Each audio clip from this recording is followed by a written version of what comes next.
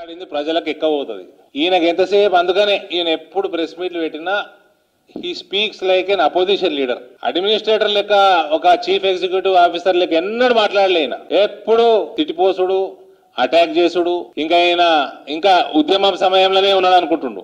Actual problems చెప్పడు. రెండు వేల పద్నాలుగు పద్దెనిమిది మేనిఫెస్టో టిఆర్ఎస్ మేనిఫెస్టో మీద ప్రెస్ మీట్ పెట్టమని ప్రజల్ని డైవర్ట్ చేసేందుకు బ్రహ్మాండమైన టాలెంట్ ఉన్నది సార్కి.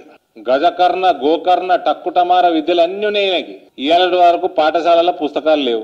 మీ మీ పేపర్లన్నీ రాసినాయి ఇవాళ మూడు జిల్లాలకు శాలరీ ఇస్తున్నారట ఇంకా సగానికి పైన జిల్లాలలో ఇంకా జీతమే ఇవ్వలేదు రెండు వేల పద్నాలుగులో సర్ప్లస్ స్టేట్ మూడు వందల అరవై తొమ్మిది కోట్ల రెవెన్యూ సర్ప్లస్ ఇవాళ పదహారు వేల ఐదు వందల కోట్ల మైనస్ డెఫిసిట్ ప్రతి సంవత్సరం రెవెన్యూ డెఫిసిట్ మూడు లక్షల ఇరవై వేల కోట్ల అప్పులు.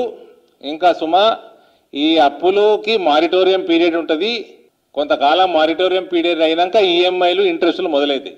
ఏం క్లెయిమ్ చేసిండట? ఈయన జీడీపీ అట పదకొండున్నర లక్షల కోట్లట. కేంద్రం అట సహాయపడతలేదట ఈయనకి. లేకపోతే పద్నాలుగున్నర లక్షల కోట్లట.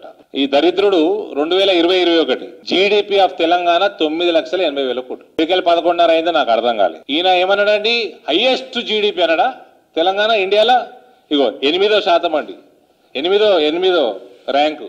పాస్పోర్ట్లు దందా చేసుడు దుబాయ్ శేఖర్ పాస్పోర్ట్ల దందా చేసుడు తప్ప ఈ జీ- ఈ జీవితానికి ఇంకేం చేసింది లేదు. ఇక సైన్యం గురించి మాట్లాడు అగ్నిపత్ స్కీమ్ కింద ఇండియన్ ఎయిర్ ఫోర్స్ ఒకటే. ఎయిర్ ఫోర్స్ ఒకటే ఏడు లక్షల నలభై తొమ్మిది వేల ఎనిమిది వందల తొంభై తొమ్మిది అప్లికేషన్లు వచ్చాయి. ఎందుకు కోల్ తెప్పియాలి? మన దగ్గరనే కోలారు ఏం కోల్ ఉన్నది ఇక్కడ తెలుసారా భయ్ నీకు బయోకూఫ్? దేశంలో ఏం కోల్ ఉన్నది? మనం ఎందుకు ఇంపోర్ట్ చేస్తున్నాము? రానున్న కాలంలో ఇంపోర్ట్ చేస్తూనే ఉంటాము.